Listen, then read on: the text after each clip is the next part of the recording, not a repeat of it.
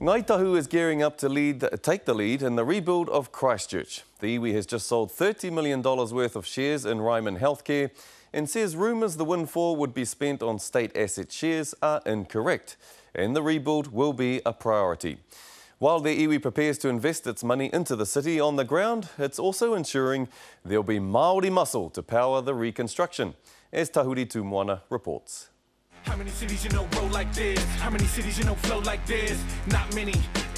Mai i te rū o Ruaumoko i ngā tau 2010, 11, kua noho mai noa te iwi o Ōtautahi.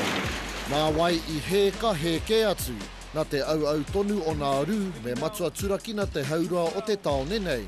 Ko te mahi ināianei he mahi rautaki e mahuta anō ai, A o Tautahi i ōna puna rihi. Kua he toki ki te rika te kaupapa hou kua whakaarahia hei whakahoki mai anō i ngā mahi kāmura a te iwi Māori ki te hana anō i a Ōtautahi.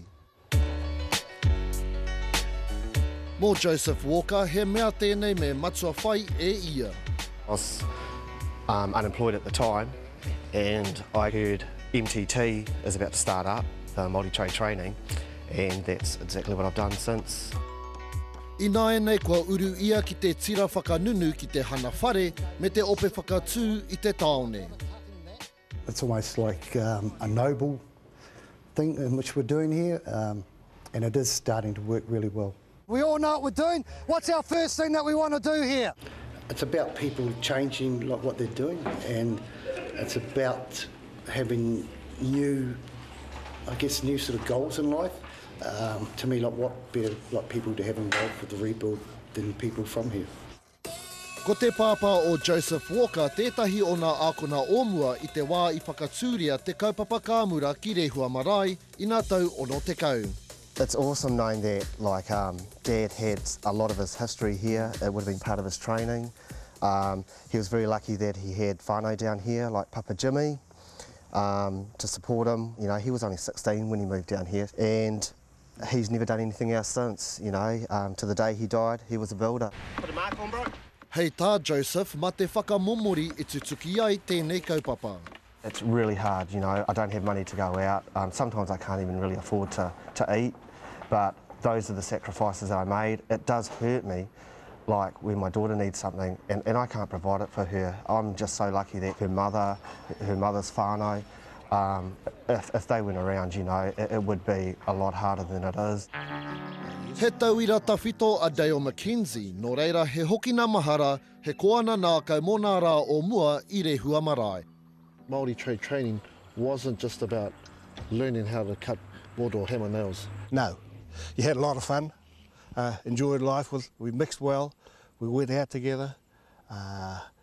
A lot of people came up to, to the marae itself, to the uh, hostel, and used to take us out for lunches and dinners and just to meet us.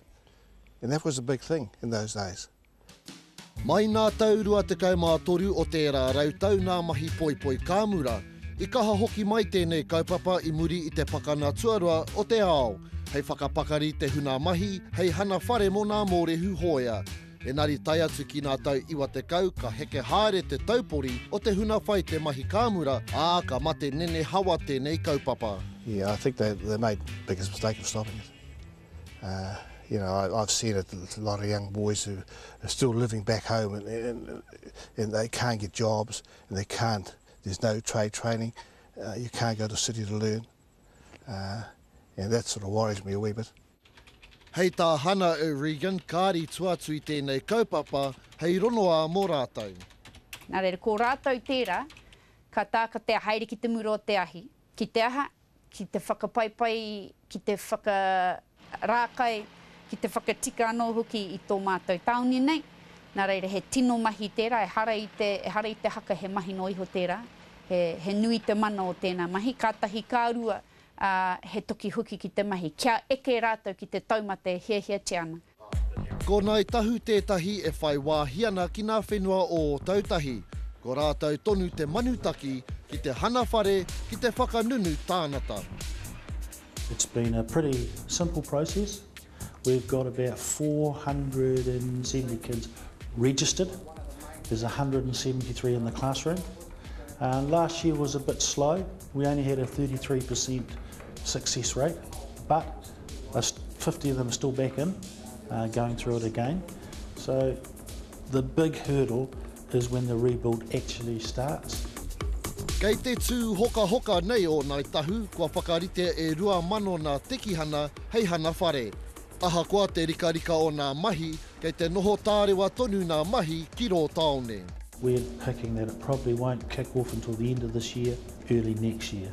So we've got the kids in the classroom, our job is to keep them engaged until the jobs come up.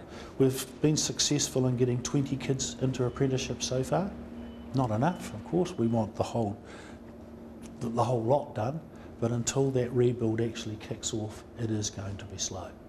E nari kia tīmata nā mahi, kua whitiki kua rite a Joseph Meo hoa ako ki te mahi i te mahi. Oh,